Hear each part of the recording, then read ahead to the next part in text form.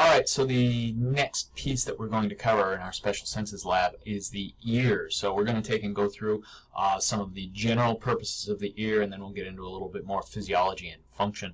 Uh, but the ear is basically divided up into three main regions. We have what's known as the outer ear, the middle ear, and the inner ear. Right? So three main regions, right? Outer, what is found in the outer ear? The outer ear consists of your earlobe. Right? So the earlobe is also called the auricle. And we'll see that with the heart as well. There's a external covering on the heart, uh, on the atria of the heart, which are called the auricles, right? So we're going to hear this term again, right? So external covering um, of the ear, right, is going to be the auricle. Uh, the lobe down here is actually called the pinna, right? But the auricle and the pinna make up our ear lobe. Uh, the main purpose of that is to help direct sound waves in. They kind of look like they kind of act like big radar dishes uh, to help direct sound waves down into the second part of our outer ear, which is the ear canal. So we have the lobe and the external canal. Come on.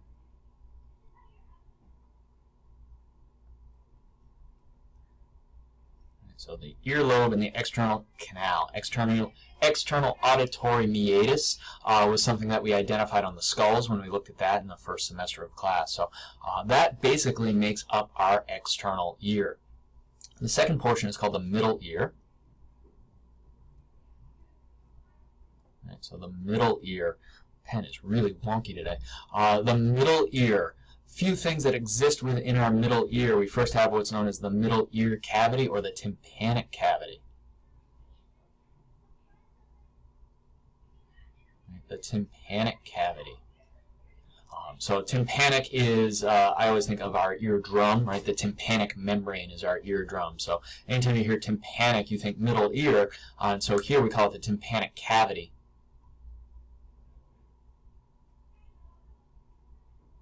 Right? The tympanic cavity is just this section here, and within this section, what do we find? Well, we find our eardrum.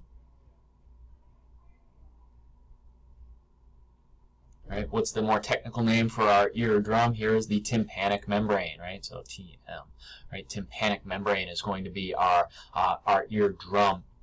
And so as sound waves come in through that external ear, they get channeled down through the ear cavity and strike that tympanic membrane. And what we want it to do is vibrate that tympanic membrane or the eardrum we can see is connected to one, two, three separate bones. So let's sort of erase some of this right now. Uh, we have one, two, three separate bones. The more technical names for these are the malleus, the incus, and the stapes. Right. So the first one, uh, the malleus, is also known as the hammer. It kind of looks like uh, a ball peen hammer, right? So a nice round end on the hammer coming down, and the handle is attaching to our tympanic membrane. So the malleus is going to be our first one, malleus. The second one is an anvil, right? More technically, it's known as the incus. Uh, and this one literally looks like a blacksmith's anvil. So it kind of makes sense with the head of the hammer coming down on top of the anvil, right? So malleus, incus. And then our third one is the stapes. Uh, the third one is the stapes, also known as the stirrup. Uh, and this one looks just like a stirrup for a horse's saddle. Um, so you can see where you would be putting your foot uh, within that stirrup there. Right? Those three bones together are collectively known as the ossicles.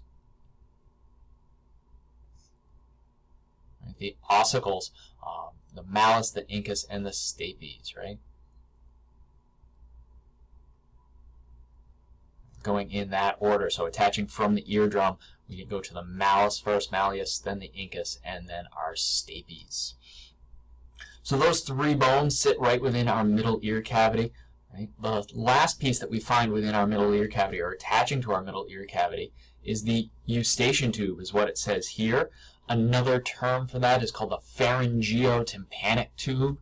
Uh, big mouthful of a name, but what that does is it talks about the two areas that it connects, right? We know tympanic references our middle ear. Pharyngeo, right? Your pharynx is your throat, right? So your throat. So what we do is we connect the middle ear cavity to our throat. The biggest thing that this does is it helps to equalize pressure on either side of the membrane.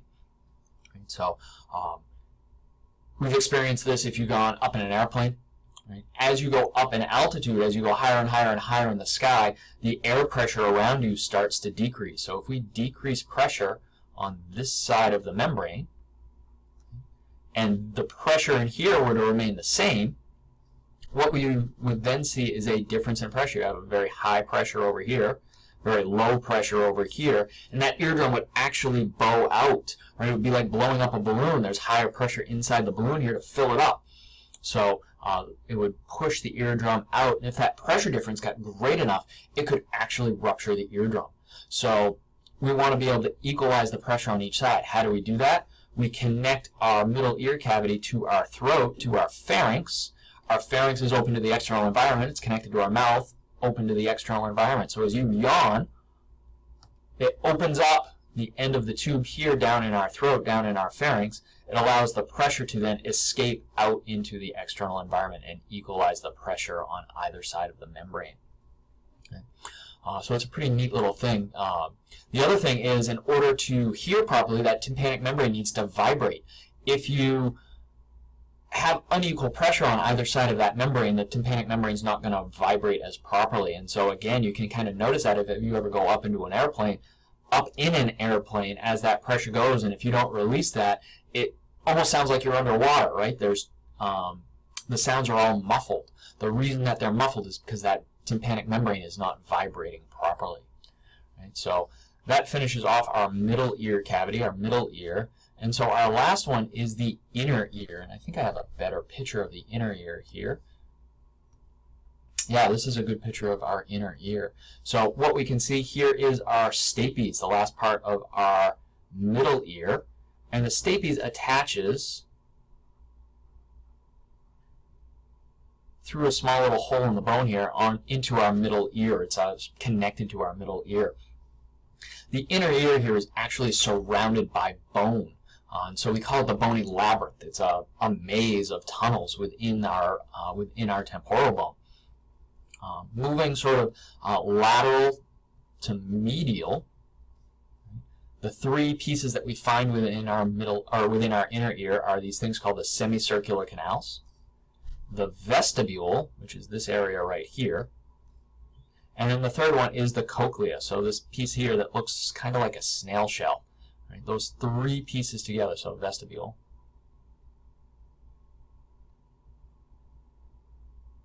So semicircular canals, the vestibule, and our cochlea are the three things that actually take and make up our inner ear. Right? So it's a network of tubes uh, which are then encased in bone.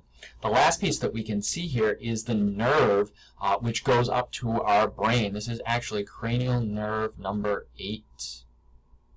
So if you remember when we did the brain and we did the cranial nerves, cranial nerve number 8 was our vestibulocochlear nerve or our auditory nerve. Vestibulocochlear nerve, you can see that it actually comes in and splits. One piece goes to the vestibule in the semicircular canal, so we're going to call it the vestibular nerve or the vestibular portion. And the second branch of that goes to our cochlea, so we call it the cochlear nerve or the cochlear branch. The two of those together combine and head out of the inner ear cavity up to our brain as cranial nerve number 8, the vestibulocochlear nerve or our auditory nerve. I'm going to take a break here and then we will uh, talk a little bit more about the different pieces of the inner ear and their functions.